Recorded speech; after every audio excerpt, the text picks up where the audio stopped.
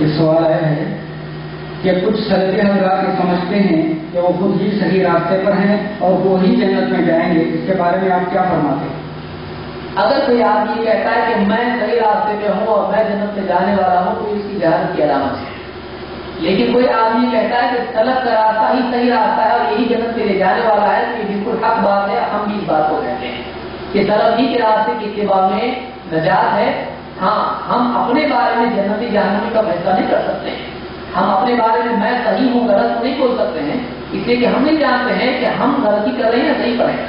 लेकिन हम ये कहते हैं कि ये जो रास्ता है कुरान का जिसका अल्लाह ने हुक्म दिया है, ये जो रास्ता है सलफ का, जिसका अल्लाह ने हुक्म दिया है, इसकी सेवा हमको करना है। ये जन्नत में यकीन जाने वाला है सलात अल्लाह अनाम डाले जो अल्लाह ने खुद कहा, उन लोगों का रास्ता जिसका पूरी इनाम किया है मेरा नबीन और सिद्दीकीन और शोदा सालहीन नबियों का रास्ता, सिद्दीकीन का रास्ता शोदा का रास्ता सालहीन का रास्ता, ये रास्ता जन्नत में ले जाने वाला है। इसकी तो दुआ करने के लिए कहा गया है।